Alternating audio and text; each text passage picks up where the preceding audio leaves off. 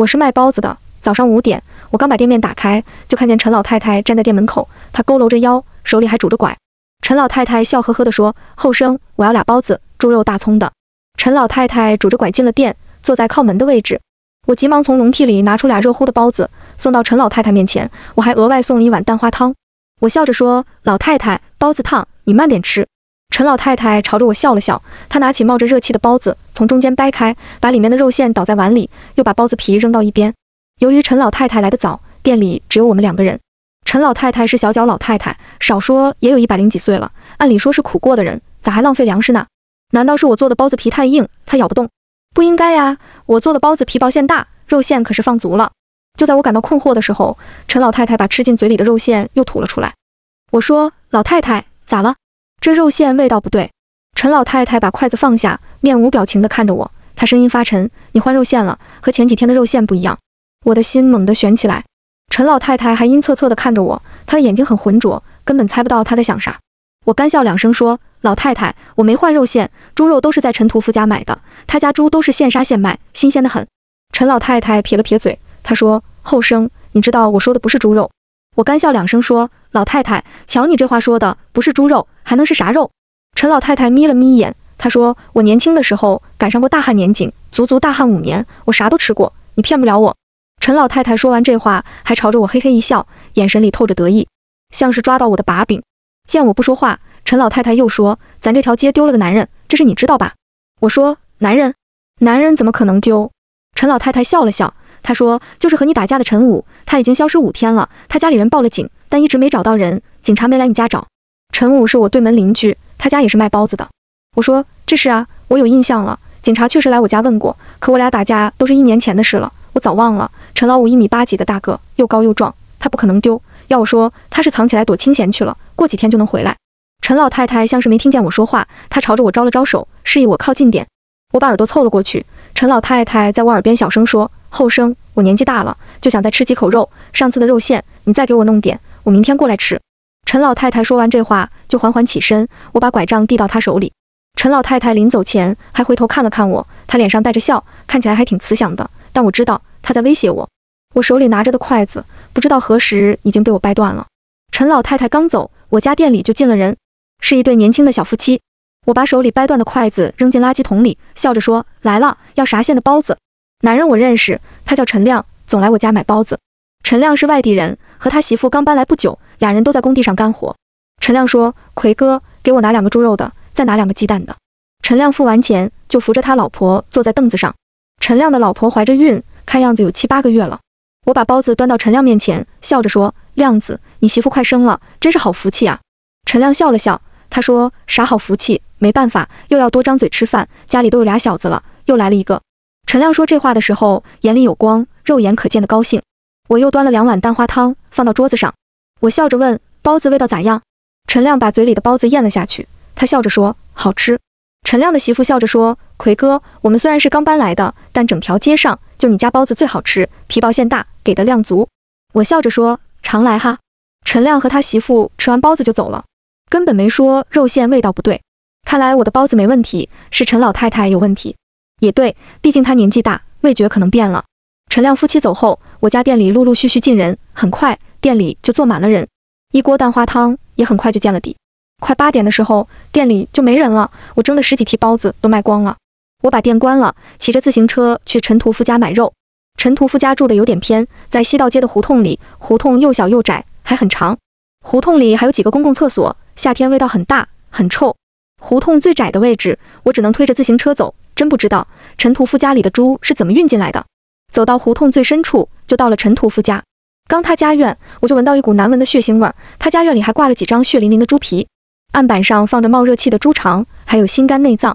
我笑着说：“陈哥，要三十斤五花肉。”陈屠夫脸上沾着血，身上穿着皮围裙，围裙上沾着各种脏东西，有血还有土，甚至还有猪粪。陈屠夫咧嘴笑了笑，他说：“平常都买二十斤，今天咋买三十斤？”我笑着说：“我刚搬来没几年，街坊邻居都挺照顾我生意的，我想着做点红烧肉，免费给大伙尝尝，也算是谢谢大伙。”陈屠夫把肉切好，他嘴里叼着烟说：“你还挺有心，怪不得你生意好，就是比陈老五会做人。”我干笑两声说：“没有没有，老五人也不错。”陈屠夫撇了撇嘴。他说陈老五那就是一个畜生，打爹骂娘，欺软怕硬。你来之前，他对门也是开店的，是开羊肉馆的，本来和他没啥关系，他偏说人家抢他生意，又是砸人家玻璃，又是拿刀威胁人家，把人家欺负走了。要我说，你小子还真是硬骨头，敢和陈老五打架。我说我可不是啥硬骨头，碰巧赶上了。五哥对我没下死手，就推搡几下，都算不上打架。陈屠夫笑了笑，他说：“反正你敢惹陈老五这种地痞流氓，就是好样的，不受他欺负。”陈屠夫话音刚落，陈屠夫家院门就开了，还真是冤家路窄。进院的人是陈老五的亲儿子，陈老五的儿子叫陈木，是个混混。他从一进门就开始盯着我看，我不想惹麻烦，拿起案板上的猪肉，对陈屠夫说：“陈哥，我先回去了，明天过去吃肉哈。”我刚想走，就被陈木拦下。陈木阴森森地盯着我看，他说：“你把我爹怎么样了？”我说：“我有日子没见到你爹了，我能把他怎么样？”陈木突然伸手抓住我的衣领，把我使劲一拽，我手里的猪肉差点掉在地上。陈屠夫急忙过来拉架，他干笑两声说：“木子，你干啥？”可不能动手！你爹消失的事，警察还在查啊！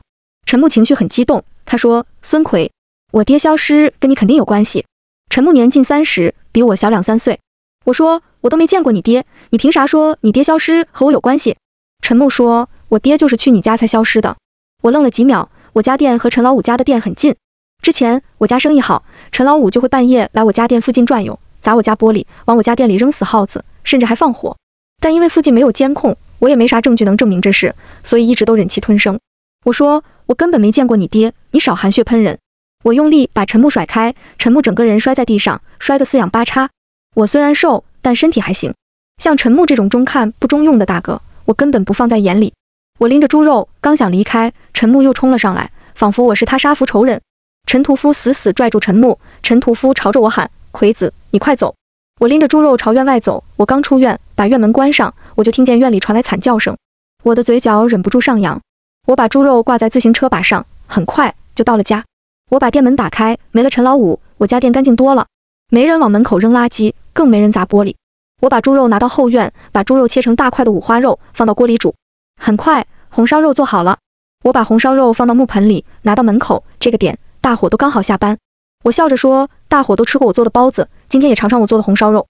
很快，路过的人就都停下过来凑热闹，拿着筷子吃几口。我看见陈老太太也在人群里，我朝着陈老太太喊了一声：“老太太，您年纪大，我给您盛一碗，您进屋坐着吃，慢慢吃。”陈老太太朝着我笑了笑，人群里给陈老太太让了一条路出来。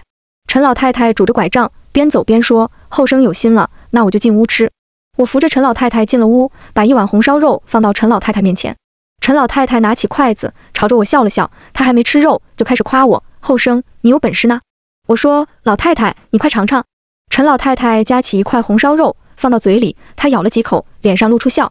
陈老太太说：“后生，我就一个姑娘，还在外地，你要是能顿顿给我弄来肉，我就认你当干儿子。”陈老太太有点家底，听人说她家有祖传的古董，可我不稀罕，我来这里可不是为了钱。我说：“老太太，您可就别难为我了，哪有那么容易？”我说这话的时候，大腿有点软，只好坐在椅子上。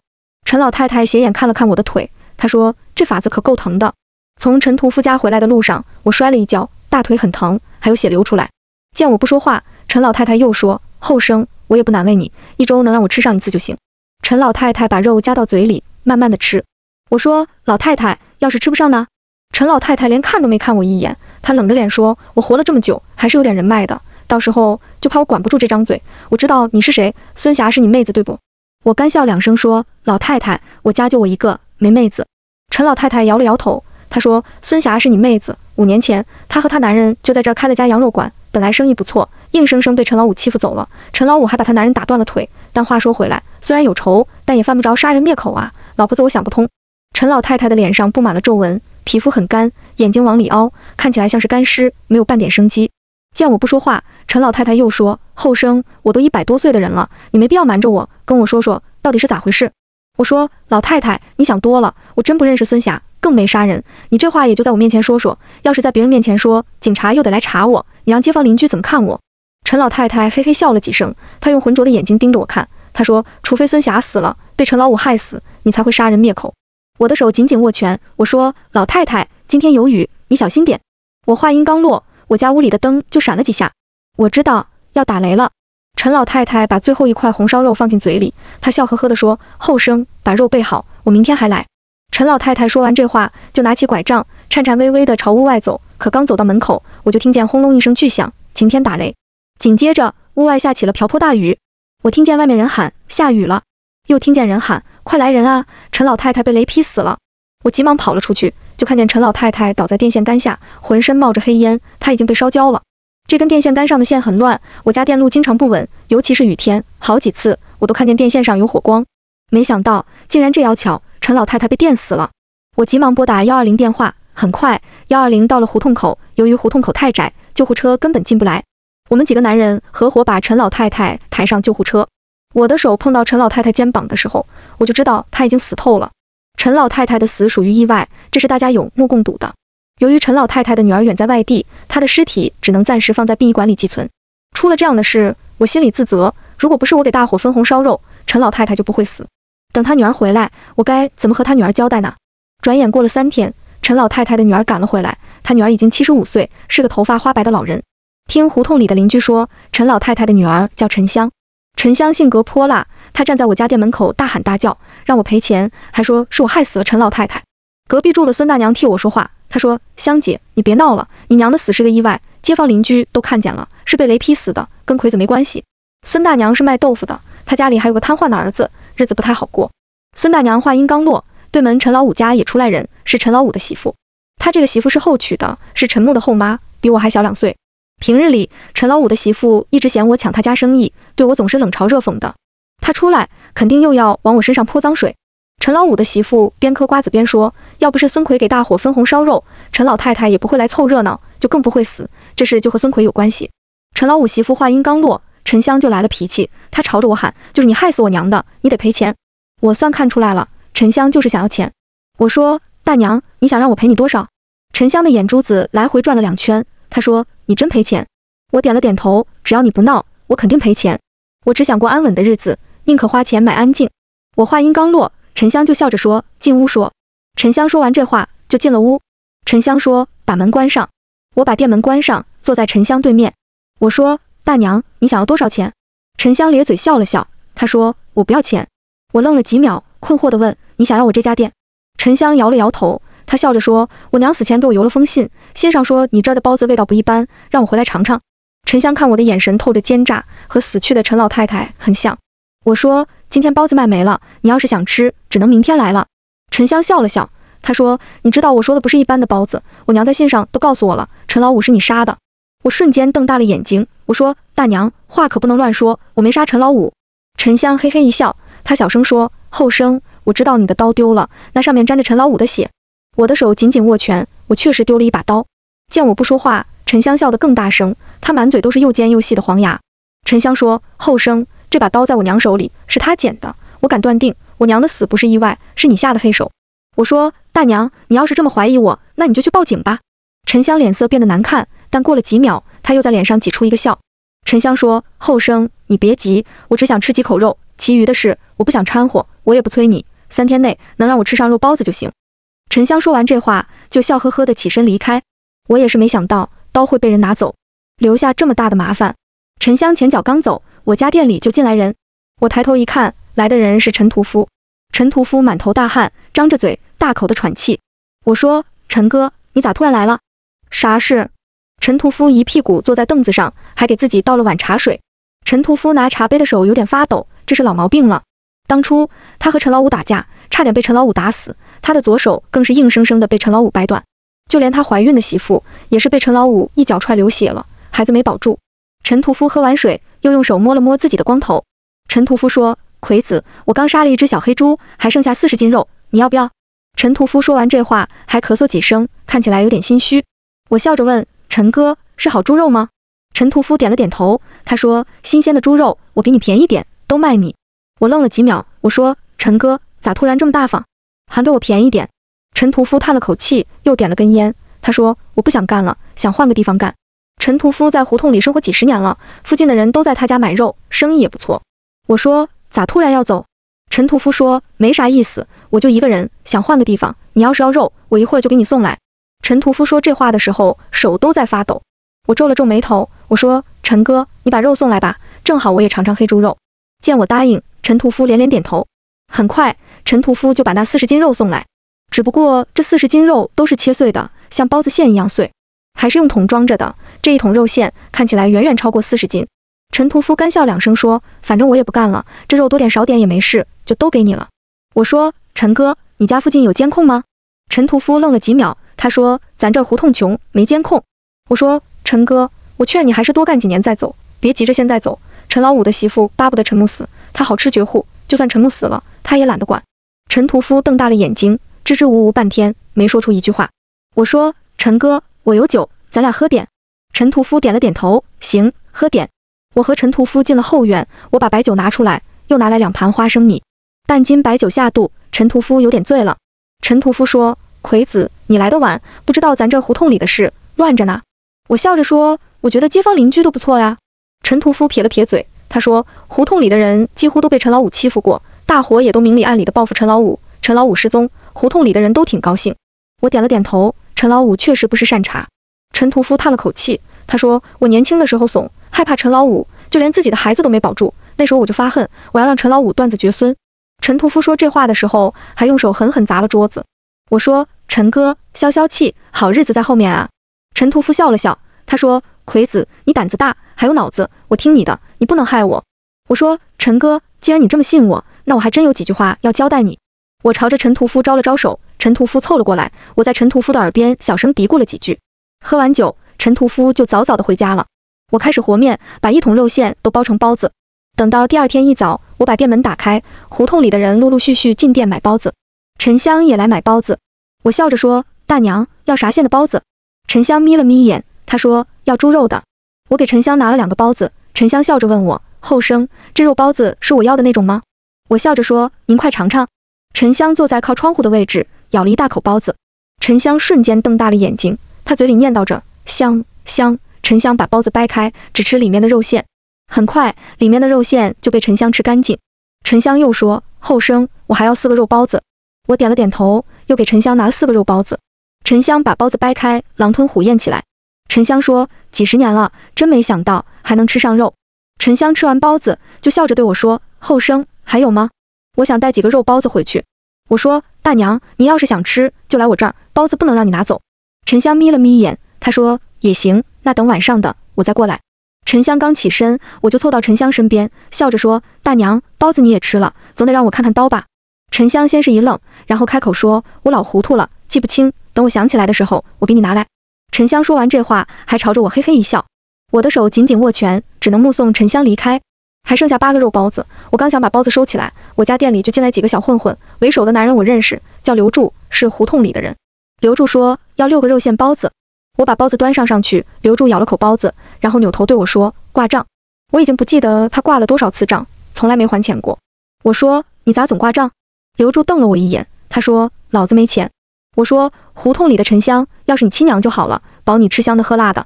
我话音刚落，刘柱就瞪大了眼睛。胡同里的人都知道。沉香自己在家，家里还有值钱的古董，而且就沉香一个人。刘柱明显是起了歪心思。刘柱说：“少瞎说，老子没娘。”刘柱说完这话就走了。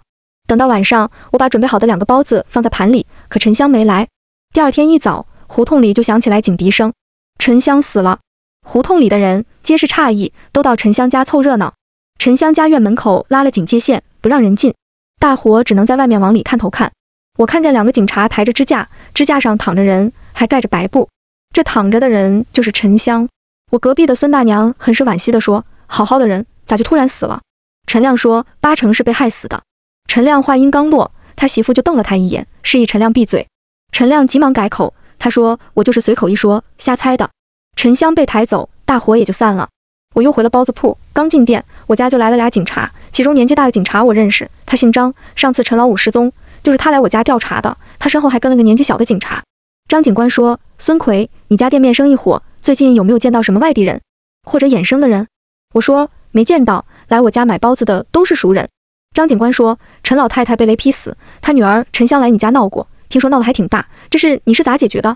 我笑着说：“大娘当时闹是因为情绪不好，后来他冷静下来就没让我赔钱，还挺照顾我生意，来我家买包子吃。”张警官眯了眯眼，他说：“也就是沉香没从你要钱。”我点了点头，没有。张警官说：“沉香的死疑点很多，他儿子要求检验尸体，很快就会出结果。这几天还需要你帮忙留意下周围情况，如果发现可疑的人，立刻报警。我点了点头，张警官，你放心，我肯定留意。送走张警官，我整个人瘫坐在地上。我万万没想到，沉香的儿子竟然会要求验尸。不行，我得去找陈屠夫。我将店门关上，骑着自行车去找陈屠夫。可刚到陈屠夫家，就发现陈屠夫家的大门关上了。我使劲敲了敲门，陈哥，没人回应。该死，陈屠夫竟然跑了。他不该这个时候逃跑，会被警察盯上的。我又朝着陈屠夫家院里喊：“陈哥，我来买猪肉，你在家吗？”还是没人回应。我只好在门口等陈屠夫，可等到了天黑，还没有等到陈屠夫，我只好先回店里。我听见店外传来警笛声，难道陈屠夫被抓了？就在我感到困惑的时候，我家店里进来了人，是陈亮。陈亮手里还拎着一个竹筐，竹筐里放着锅碗瓢盆。我说：“亮子，你这是？”陈亮笑呵呵地说：“奎哥，我要走了。我觉得你人不错，这些就送你了。”我说：“咋突然要走？”陈亮脸上的笑僵硬住，他说：“鱼和熊掌不能兼得。”我得走了。陈亮说完这话就走了。等到晚上，我才知道刘柱被抓了，是陈亮举报的。陈亮拿了悬赏的钱，胡同里的人都聚在胡同口议论这事。孙大娘说：“留住这个小畜生，从小我就知道他不是个好东西。”陈老五的媳妇说：“真没想到那小子敢杀人。我听人说老太太是被活活掐死的。”陈老五的媳妇话音刚落，一个头发花白的老大爷就开口说：“活该，这就是他家的报应。”说话的人是王大爷，他和陈老太太年纪差不多。胡同里的人纷纷看向王大爷，王大爷抽了两口旱烟，不紧不慢地说：“大旱那几年，他家没少干丧良心的事，这就是报应。”陈老五的媳妇瞪大了眼睛，好奇地问：“王大爷，他家里都干啥丧良心的事了？”王大爷干咳两声，他说：“连娃娃都不放过，丧良心。”王大爷说这话的时候还扇了扇扇子。王大爷话音刚落，我就听见警车声，很快来了警车，为首的还是张警官。张警官走到我面前，他说：“孙奎，跟我们走一趟。”配合调查。张警官话音刚落，胡同里的人纷纷看向我。我愣了几秒，开口问张警察：“为啥要带我去警察局？”张警官皱了皱眉头，他说：“上车说。”我被带上了警车。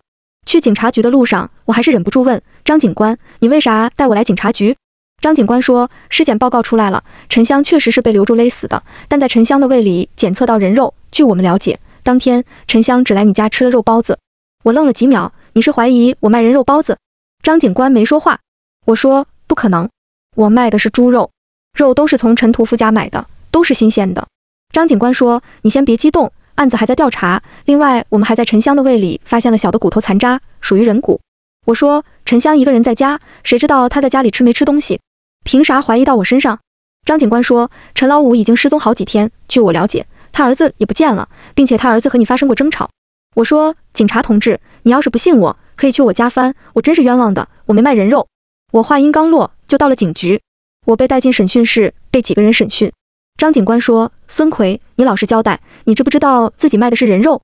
我愣了几秒，我说：“咋可能？我卖的都是猪肉，一直是从陈屠夫家买的。你们要是不信，可以把陈屠夫喊来。”张警官说：“陈屠夫的事我们会调查。”我说：“陈屠夫人呢？不会是这个王八蛋卖我人肉吧？”我就记得那天，他说手里有四十斤的黑猪肉，他说要把猪肉便宜卖我，然后他就离开。他把四十斤黑猪肉给我送来，都被他剁碎了。我当时还觉得奇怪，因为以前都是整块肉。我话音刚落，张警官就问我还有剩下的肉吗？我点了点头，有，还剩下五斤，在冰箱里。张警官说：“小李，快把肉拿来。”张警官说完这话，继续问我。等到快要天亮的时候，才把我放了出去。在警局门口，张警官告诉我，那不是黑猪肉，是人肉，而且很可能是陈木的肉。我后背一阵发凉，我说：“那这可怎么办？”张警官说：“我们正在抓陈屠夫，虽然目前没有证据证明你跟这事有关，但你不能离开，随时接受调查。”我点了点头，知道了。我从警察局离开，回了胡同。刚进胡同，就听见各种叫骂声，估计他们也知道了包子里有人肉。我低着头，快速朝店里走，可刚走到店门口，我就看见我家店门口挤满了人，见我回来，就把我团团围住。陈老五的媳妇大声说：“孙奎。”猪肉和人肉你分不清吗？要我说，你就是知道肉有问题。我说我为啥这样做？我和大伙又没仇。陈老五的媳妇扯着脖子喊：“你和大伙没仇，但和我家老五有仇。我家老五肯定是被你杀的，然后做成包子卖给大伙了。”我冷着脸说：“陈老五欺男霸女，他儿子也不是啥好东西，胡同里的人都被他欺负过，都和有仇，咋偏偏是我杀他？你少含血喷人！”我话音刚落，胡同里的人皆面面相觑。见大伙不说话，我又说陈老五不见了，他儿子也不见了，你才是受益者。陈老五的钱都是你的，我还怀疑是你杀人了呢。陈老五的媳妇愣了几秒，她的脸色变得难看，说话都断断续续的。陈老五的媳妇说：“孙奎，你胡说八道。老五对我不错，我为啥杀老五？你少往我身上泼脏水。”我说：“你和后院刘三的事，也就陈老五不知道。”我话音刚落，陈老五的媳妇就气得直跺脚，她朝着我呸了几口，就回了她家。其余的人纷纷看向我。毕竟包子是从我家买的，我说等案子破了，我肯定给大伙个交代。胡同里的人听我说这话，就纷纷散了。转眼过了七天，警察局来了消息，说是案子破了，陈屠夫抓到了，是他杀了陈木，还把陈木剁成肉泥，把肉泥卖给我，我不知情。陈屠夫还承认陈老五也是他杀的，至于杀陈老五的那把刀，他扔了，扔到河里，可在河里打捞了几天，都没找到那把刀，反而陈屠夫忍不住了，脑出血死了。陈屠夫有病。上次喝酒的时候，他就告诉过我，他活不了几天。他希望我能帮忙照顾他老家的老娘，还把他老娘的地址给我了。陈屠夫的案子结束后，我就把店卖了，卖店的钱我给胡同里的人分了。我买了张火车票去陈屠夫老家，给陈屠夫的老娘尽孝。